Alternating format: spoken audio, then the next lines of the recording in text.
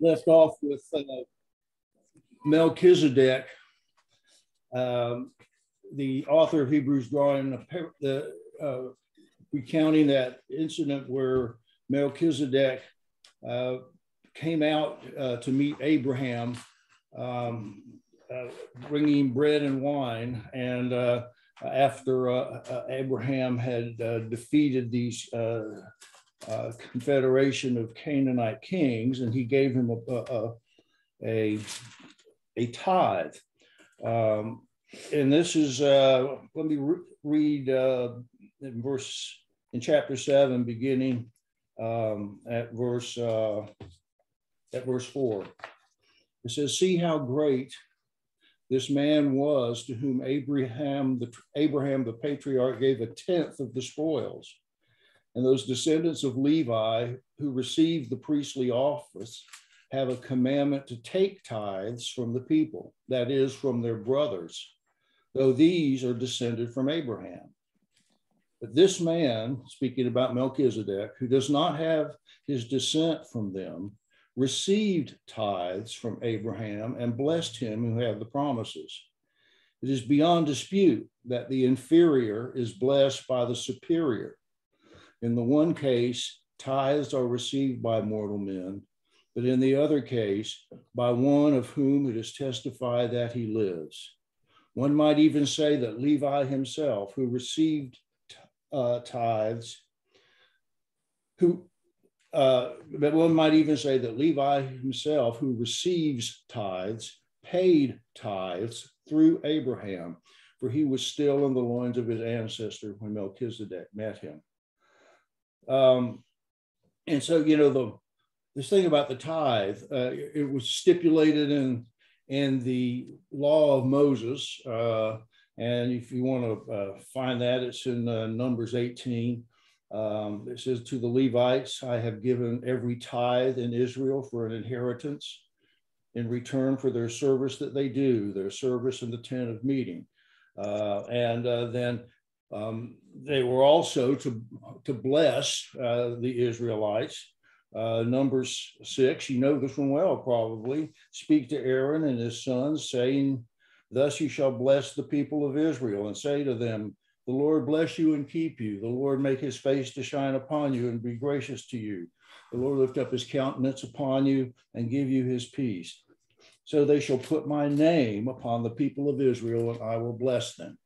Uh, and so these are the things that the Levitical priesthood was commanded to do.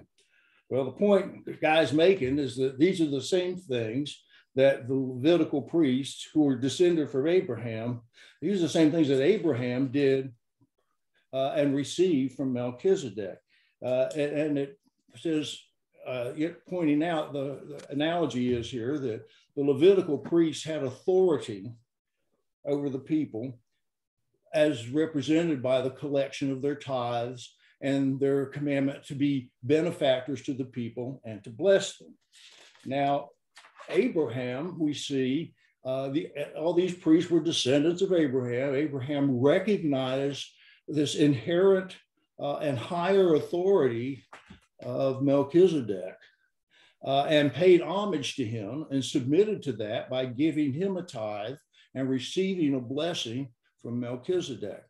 And like I said, I think I said it last week, I always thought it was significant how Melchizedek brought out bread and wine. That has a little bit of a connotation to us uh, as, as Christians. Uh, I don't know how much to make of that, but uh, I've always thought that uh, was uh, maybe a little more significant, uh, um, you know, topic there. But, and so the whole point was is that, that Abraham is the father of all of God's people, the father of all Israel, was in subjection to the priesthood, the superior priesthood of Melchizedek.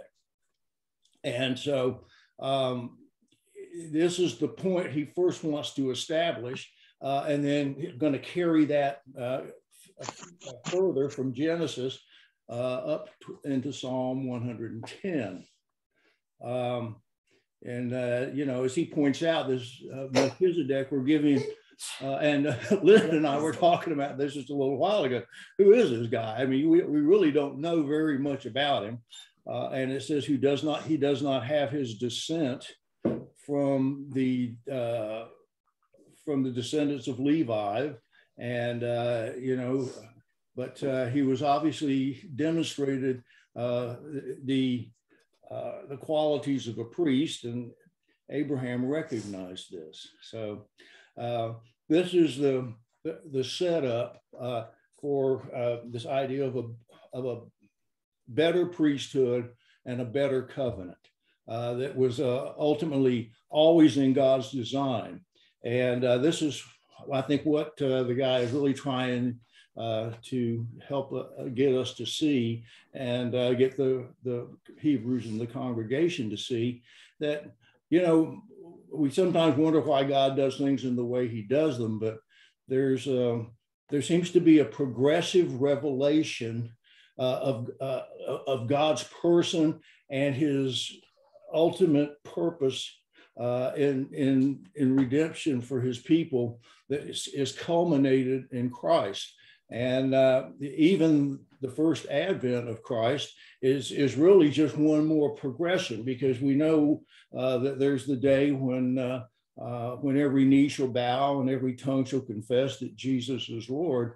And uh, that uh, that's yet to come. And so um, the, the he's trying to get his people to see that um, the Levitical priesthood and the Mosaic economy was only a, a uh, one more step in this progressive revelation that God had a had a better design in mind. And there were reasons for the uh, Mosaic economy and, and the Levitical priesthood, uh, and they fulfill those reasons, but they uh, weren't the, uh, the ultimate, they weren't the final design. And so this, this is where he starts unpacking in, in verse 11 uh, to uh, the, the, implications of, uh, of Christ's high priesthood uh, according to the order of Melchizedek. And, uh, you know, we have to kind of acknowledge the um, how central the idea of a priest is to the whole economy of God. Uh, this is uh, this really was was predicated by the the by the fall. Uh, there wouldn't have been a need for a priest if there hadn't been the fall. Uh, once we uh, humanity fell from its uh, its uh, place of grace uh, in Eden, we were separated from God, from direct access to God. That's remember how the cherubim with the flaming sword were placed at the gate uh, of Eden uh, back at the uh, in Genesis chapter three, and um, the uh, we were cut off from this holy God uh, because of he, he, was not a God who could look upon sin, and for us to come into His presence would be to experience immediate death and dissolution. Um, but um, it was always God's design. You could see this in, in, in, the original creation to be able to have his people draw near to him. What did it say before the fall? Adam and Eve, Adam and the Lord would do. They would walk together in the cool of the day. They would have these, uh, have this fellowship one with another. Uh, but now this fellowship had been broken because of, uh, of Adam's sin. And the, so God in his grace to, to provide a, a, a means of access for sinful people uh, established uh, a, a, a, form of mediation. Now, uh, and this was uh, to be mediated by a priest. Well, you say, well, you know, the priesthood came about later after Genesis, quite a bit later. And that's true. But we look back for evidence in the Old Testament, and you can plainly see that uh, Job, one of the great examples of this is Job, who acted as a priest uh, for his uh, for his family. It says that his sons and daughters would get together and they would eat and drink together, and, and Job would offer sacrifices on their behalf and pray to God for them in case some of them had sinned. we see right there that the familial patriarch uh, had the responsibility to act as um, as the high priest for the family. We see Abraham do this. Uh, when Abraham built an altar uh, to the Lord and, and, sacrificed on it, and uh, uh we, we saw we see Jacob do these these same things, and uh, where they acted uh, as priests for on behalf of their family, and so. but this mediation was only a temporary thing until we were given a more formal priesthood in the in the law of Moses uh, through through the Levitical priesthood, um, and so you know the Levitical priesthood. Uh, I think Philip used this word in his sermon last week. Was kind of a a living parable. I like that idea, uh, and it was a uh, a picture of uh, what ultimately needed uh, to happen. the the the priests would uh, would take my sacrifice of an innocent animal and that blood provisionally covered my sin and they would go to god uh, on my behalf since they were the only ones who had access into the holy place. And uh, at, uh, on the day of atonement all of the sins of israel uh, were placed on the scapegoat uh, and then they were also placed on the sacrificial lamb. One was killed, one was taken in. Only the high priest could take that blood in there, and then they would take the other goat out uh, and uh, let it be uh, uh, killed by wild animals in the uh, in the wilderness. And so this idea that this intermediary was a, a, picture of something that that much greater that needed to happen. I didn't have access uh, because of my sin. And even the priest to go in there and take that blood in there, uh, he even had to offer sacrifices for himself to cover cover his own sins and uh, his own imperfections. Uh, and so this ability to draw near, we've already seen this language in um, in Hebrews, and we will see it more as we go in here. This this, this ability to draw near to God uh, and to restore the the nearness that we lost uh, in the Garden of Eden uh, is really what the priesthood is all about. Uh, uh, the, the Levitical priests were our intermediaries. They were our mediators to go and draw near on our behalf. He said, you know, here, God, here, here's the, the blood from uh, Robbie's transgression, uh, and uh, we're going to apply that, you know, on his behalf uh, to, uh, here at the altar and sprinkle the blood at the, at the, foot and pour it out at the foot of the altar. And so uh, they were they were pointing to something that was bigger. And so this is verse 11, verses 11 through 14. Now, if perfection had been attainable through the Levitical priesthood, for under it the people received the law, what further need would there have been for another priest to arise after the order of Melchizedek, rather than one named after the order of Aaron? For where there is a change in priesthood, there is necessarily a change in the law as well. For the one of whom these things are spoken was from another tribe. He's talking about Jesus here, from which no one has ever served at the altar. For it is evident that our Lord was descended from Judah, and in connection with that tribe, Moses said nothing about the priests. Now, I think what he's wanting to point out here, he says, you know, there should be, have been plenty of indicators that this Levitical priesthood was not the be all and end all for us drawing near to God. It was really only an, uh, an interim arrangement.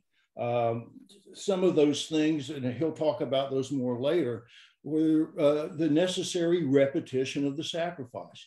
I have to offer a, a sin offering every time, uh, and I, I, have to offer perfunctory ones just even for sins that I have uh, might have forgotten about and have well, you know, committed and didn't uh, didn't take note of before God. The priest had to do the same thing. And then, you know, the other part was the, the temporary nature of the priests. Uh, you know, oh, high priest this year might be Eli. Well, next next uh, month it, it, might be uh, Abimelech or uh, or um, you know Zadok or somebody else. Uh, and so the, this priesthood was always in rotation. And he says, you know, these should be indicators to us that uh, the Levitical priesthood was really only a, an interim arrangement in, in God's uh, mind. And so he, he, he, he, he's starting to tie Levitical, I mean, uh, Melchizedek's priesthood uh, to, to, to Jesus. And he says, what need would there have been for another priest? And, um, and, and it's a good question. Uh, uh, well, you know, well, the, why is there a need? Because it, obviously the, uh, the ministry of the Levitical priesthood was only, was not permanent. It didn't give you any lasting access to God. You, well, you, you would go to the temple, you take your sacrifice, they pay for your sins, you go back, and then you have to repeat the whole process over again later on.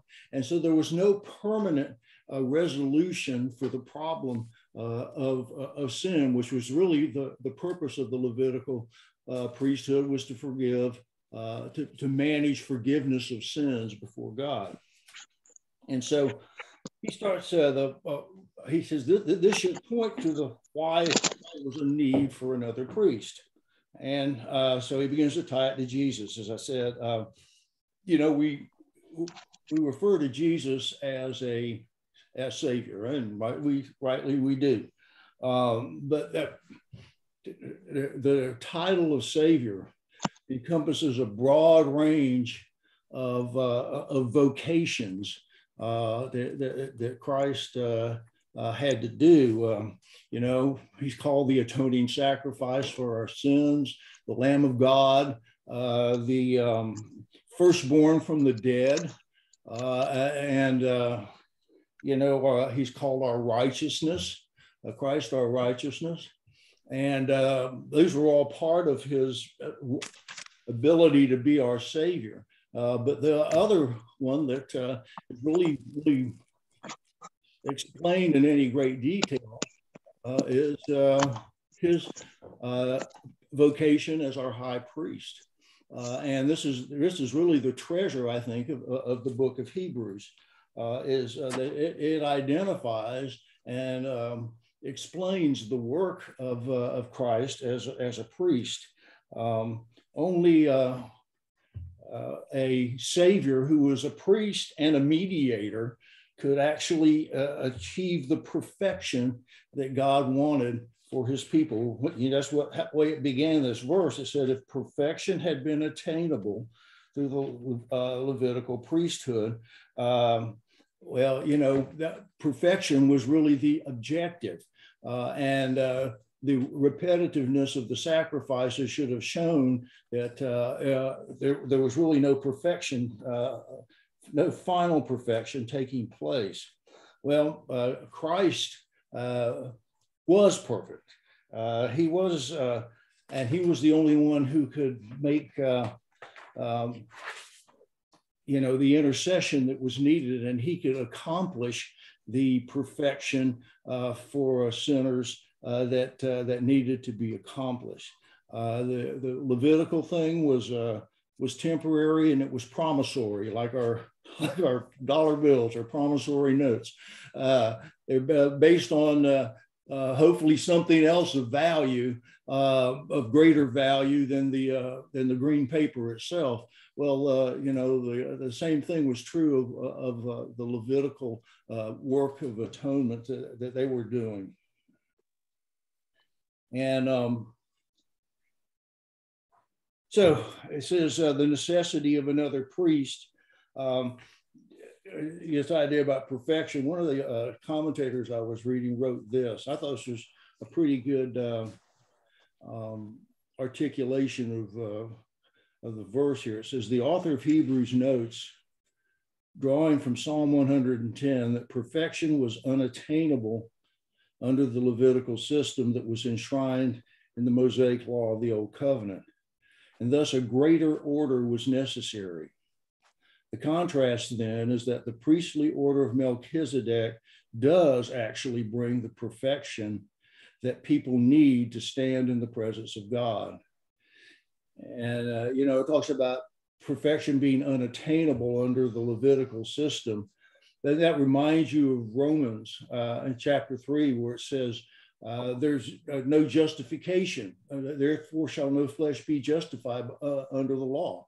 There's no justification through the law. Uh, and the Levitical priesthood was a part of the Mosaic law. It was it was part and parcel of it. I mean, there uh, it was uh, the the chief aspect of it. Really uh, was the, the, tabernacle, and after the after the moral law of God was given in the Ten Commandments.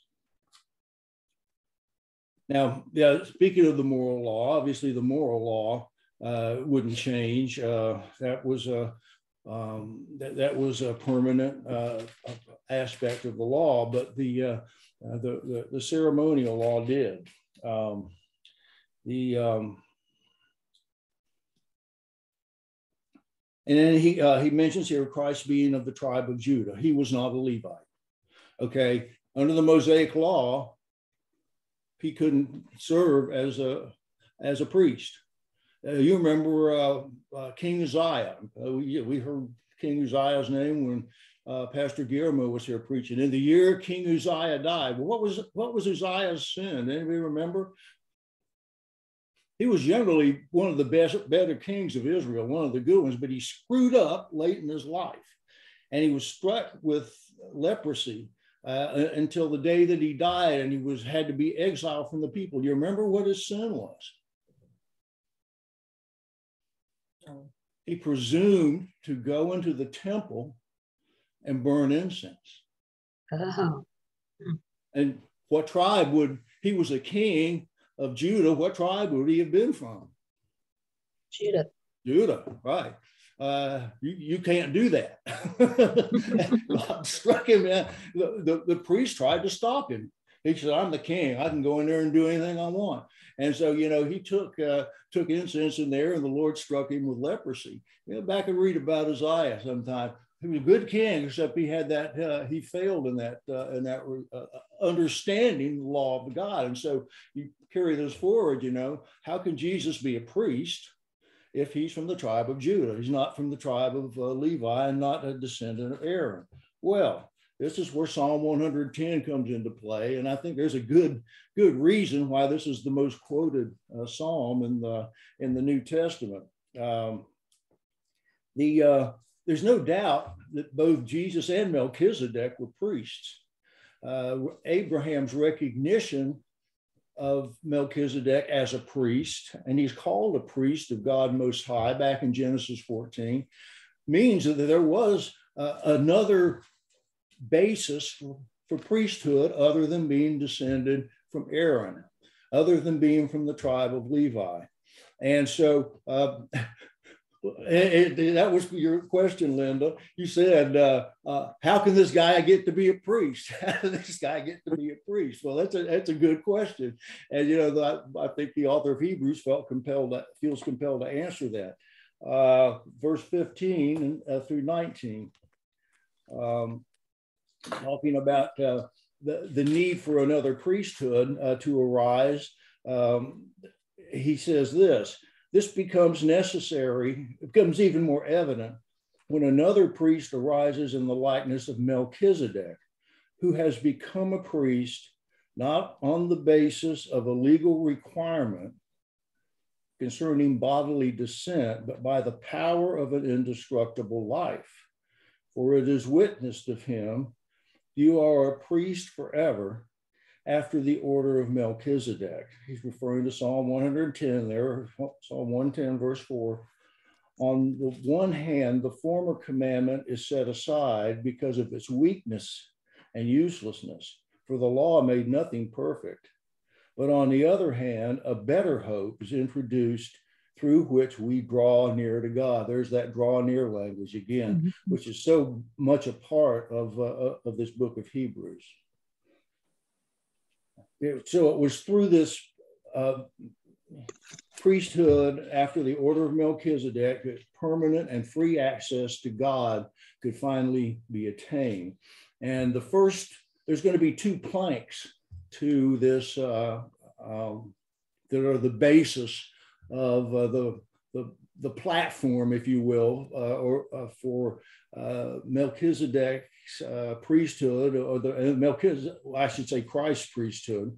and the first that's mentioned here, the power of an indestructible life. Okay, well, I'm sure that verse right there has a lot to do with the speculation uh, regarding uh, the uh, identity of, of Melchizedek. Uh, as he's saying that Melchizedek has an, had an indestructible life. Uh, it kind of seems to say that. I don't know that that's uh, exactly what was intended there. I suppose that's possible. Um, we've had, like I said, there, um, there's a lot about this man that's uh, this mystery, but uh, obviously he was recognized uh, uh, by Abraham, uh, who who was probably given the insight of the Holy Spirit uh, in this matter, uh, that uh, this man was a priest and uh, was a, of a priestly order.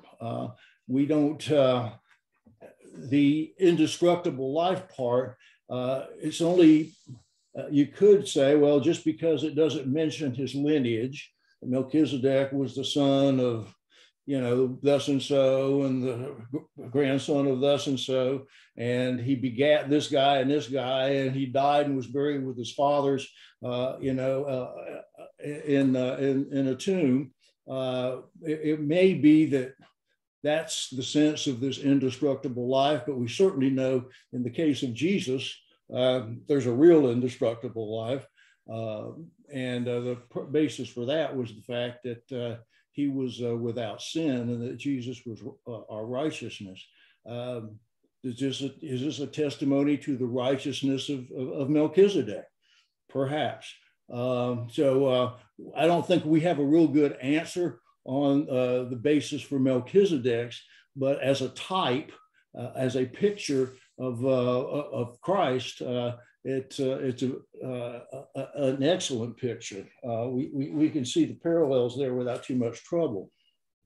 Um, Robbie. Yes. It, it, I'm with Linda. How did this guy just appear on the scene, but not just this guy, but this perfect guy, according to the way that Hebrews is describing him? How could a perfect guy just appear on the scene? Yeah, I, I don't know. and that, you know, there, um, we know that uh, one eventually did, but it wasn't Melchizedek. Uh, and um, the, uh, um, the, the power of the word of God here in Psalm 110 uh, have to have to figure into this. Uh, you've got Abraham's contact, which really consists of about like three or four verses at the most uh, in Genesis 14. And then you have this one verse in, in Psalm 110. Bear in mind that Jesus uses Psalm 110 uh, to uh, affirm that the he's the one who's being prophesied of uh, in Psalm 110, and that he is actually the, uh, not just David's son, he is the divine son of God. And uh, Matthew, I think it's Matthew 22, where he confronts the, uh, the scribes and the Pharisees. And they say, well, he asked them, just let me ask you a question. Whose son is the Christ? And they said, the son of David. And then he quotes Psalm 110.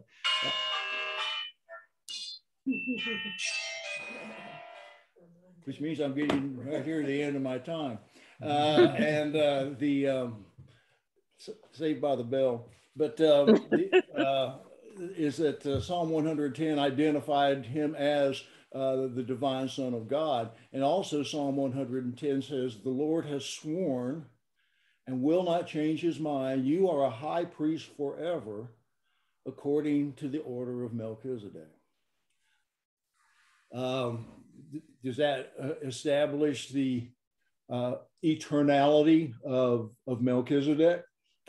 Uh, you are a high priest forever, according to the uh, order of Melchizedek.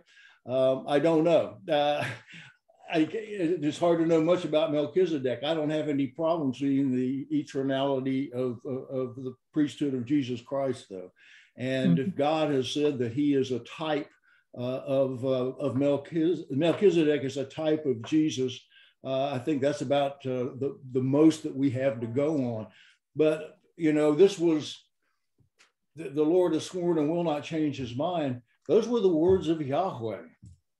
I mean, go back and read Psalm 110. It won't take you five minutes. It, it's only consists of about six or seven verses, and and and and and read it in the context of which um, Jesus presents it to the scribes and the Pharisees. Uh, and, uh, and after he does this, uh, quoting that psalm and pointing out that that psalm was written by David, and David says his Lord speaks to the, the Lord speaks to his Lord in heaven. Uh, you get this this view into heaven that uh, we're only granted uh, in that one psalm. And uh, after this, the scribes and the Pharisees, it says, dared to ask him no more questions.